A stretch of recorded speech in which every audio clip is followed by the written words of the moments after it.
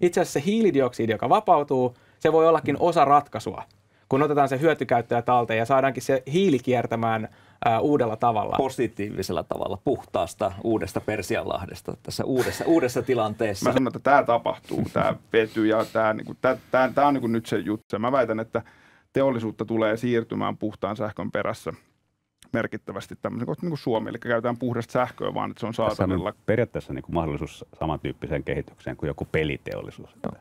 Tästä tuleekin tällainen niin kuin, tämän, tämän alueen mekka. Historia konepaja ja teollisissa palveluissa, meillä on toimivat energiamarkkinat, meillä on tilaa, meillä on, on öö, vettä, mm. mitä, mitä tämmöistä vetytaloudessa tarvitaan. Meillä on ihan mieletön mahdollisuus täällä.